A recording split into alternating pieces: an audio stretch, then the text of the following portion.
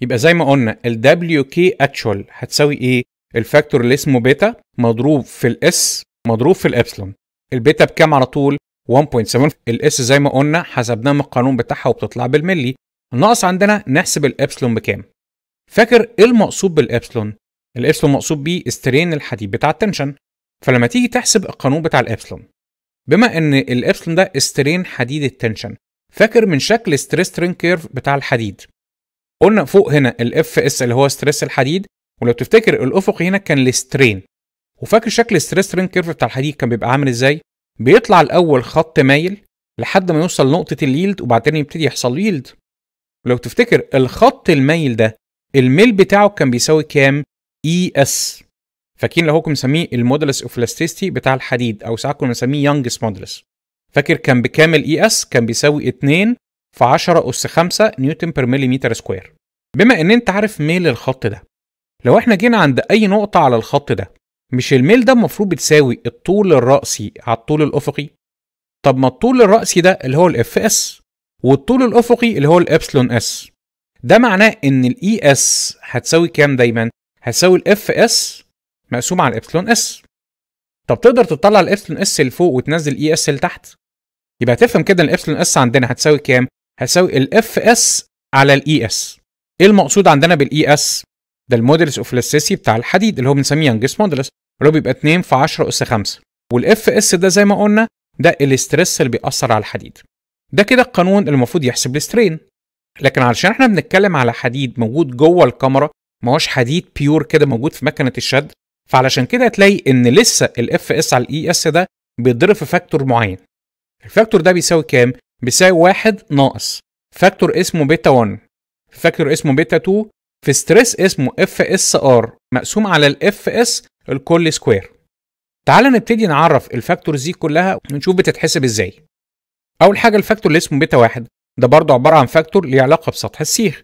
هيتاخد ساعتها ب 0.8 لو السيخ ده deformed فاكرين قلنا يعني في نتوءات وهيتاخد ب 0.5 لو السيخ ده smooth ال beta 2 عبارة عن factor ليه علاقة بال timing ليه علاقة بالوقت. هو إحنا هنا بنحسب ال strain في ال short term ولا ال long term هتلاقي البيتا 2 بيتاخد بواحد. لو إحنا بنتكلم على short term loading يعني بمعنى صح انت بتحسب عرض الشرخ بعد شوية صغيرين قوي من فك الشدة الخشب. وهيتاخد ب 0.5 لو إحنا بنتكلم long term loading يعني انت بتحسب عرض الشرخ هنا بعد فترة كبيرة ما شلنا الشدة يعني مثلا بعد خمس سنين. فالطبيعي دلوقتي البيتا واحد والبيتا 2 يتاخدوا بكام وكام؟ بما ان إحنا الطبيعي بنستخدم سياخ deformed فبتاخد البيتا واحد ب 0.8 والطبيعي دايما إن إحنا بنعمل check على ال long term loading اللي هو بعد فترة كبيرة عشان تبقى دي الحالة critical فبتاخد البيتا 2 ب 0.5 يبقى أنا عايزك تحفظ إن البيتا 1 والبيتا 2 برضه بالصدفة طلعوا كام وكام؟ 0.8 و 0.5 فاكر في القانون الأولاني كانت ال K 1 وال K 2 0.8 و 0.5 وهنا بالصدفة برضه البيتا 1 والبيتا 2 0.8 و 0.5 يبقى أنا كده عارف البيتا 1 والبيتا 2 وزي ما قلنا قبل كده ال Es فاكرين اللي هي بنسميها modulus of elasticity بتاع الحديد أو ال Young's modulus ده كان بكام؟ كان بيساوي 2 في 10 اس 5 newton per millimeter square ده بالنسبة لل Es يبقى أنا كده بعرف أحسب البيتا 1 والبيتا 2 وال Es ناقص عندنا ال stresses اللي هم ال Fs اللي هتتكتب هنا وهنا وال Fsr معناهم إيه؟ ال Fs مقصود بيه stress الحديد في اللحظة اللي أنت بتحسب عندها. يعني بمعنى صح ال moment اللي بيأثر بيبقى ال M actual وطبعا خد بالك ده بيتحسب برضه عن طريق ال working loads مش ال ultimate limit loads طب ال Fsr مقصود بيه إيه؟ ده عبارة عن stress الحديد في اللحظة الخرسانة اللي ناحية ال tension هتبتدي تشرخ. فاكر خرسانة ال tension بتبتدي تشرخ إمتى؟ لما يبقى ال moment اللي بيأثر قيمته M cracking يبقى خد بالك تاني ال Fs ده مقصود بيه stress الحديد في اللحظة اللي إحنا بنحسب عندها بالظبط يعني ال moment اللي بيأثر بيبقى M actual لكن ال Fsr ده stress الحديد في لحظة ال cracking يبقى ساعتها ال moment اللي هيتحط بال M cracking بالظبط. طب نحسب إزاي ال Fs وال Fsr مش الاثنين دول stress حديد؟ تعال نفتكر بسرعة وإحنا بنحسب معادلة ال normal stress زي ما قلنا القطاع ابعاده هتبقى عندك. وفاكرين في الحالة دي القطاع المفروض مشرخ ولا مش مشرخ؟ طبعا مشرخ ده أنا بحسب عرض الشرخ. فبالتالي هنا هتلاقي إن الجزء اللي ناحية ال tension كله مشرخ يعني هواء والجزء في compression هو اللي شغال.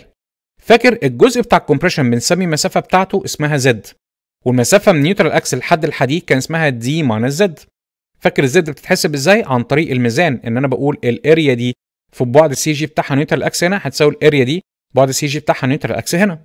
ونطلع قيمة ال Z. once إن أنت طلعت ال Z بتعرف تحسب قيمة ال inertia. طبعا أنهي inertia لو تفتكر؟ طبعا اللي هي ال I crack قلنا لأن القطاع هنا أكيد مشرخ. فاكر معادلة ال normal stress على الحديد اللي هي المفروض موجودة بالظبط عند النقطة دي؟ اللي هي هنا. كان المفروض بتساوي إيه؟ قلنا قبل كده معادله ال normal stress على الخرسانة كانت بتساوي M في Y على I لكن فاكر معادله ال normal stress على الحديد كان بتساوي دايما ال n الأول في M في Y على I تقدر تقول لي ال n بكام؟ فاكر إحنا قلنا قبل كده دايما لو أنت بتعمل check deflection بتاخد ال n ب 10 لكن لو زي هنا أنت بتعمل check crack width بناخد ال n دايما ب 15 فواضح إن أنا هنا هعوض ال n ب 15 بالنسبة لل Y إيه المقصود بال Y؟ لو تفتكر بعد النقطة اللي إحنا بنحسب ال stress عندها عن neutral axis. بما ان أنا بحسب ال stress على الحديد اللي هي عند النقطة دي يبقى ال Y عندنا هتبقى بكام؟ هتساوي المسافة دي كلها اللي هي ال d minus Z طب على انهي I هو قطاع مشرخ ولا مش مشرخ؟ طبعا مشرخ.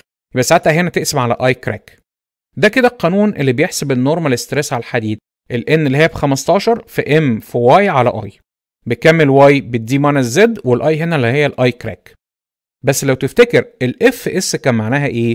ده stress الحديد في اللحظة اللي إحنا بنحسب عندها عرض الشرخ يبقى ال M اللي عندي هنا المفروض أنهي moment المفروض ال moment اللي بيأثر في اللحظة دي. فكده هو بنسميه عندنا M actual وطبعا ال M actual ده إحنا جايبينه من أنهي loads من ال working loads مش من ال ultimate limit loads بالنسبة عندنا لل fsr فاكر نفس القانون بالظبط؟ بما إن هو برضه عبارة عن stress الحديد يبقى هتجيب معادلة النورمال ستريس بيساوي كام؟ ان في ام في واي على اي وبرضه الواي عندنا اللي هي المسافه دي اللي هي دي ماينس زد والاي اللي هي اي كراك لكن يفرق في إيه؟ فاكرين قلنا الاف اس ار ده مقصود بيه. ستريس الحديد لحظة ما الخرسانه في الترشان بتشرخ.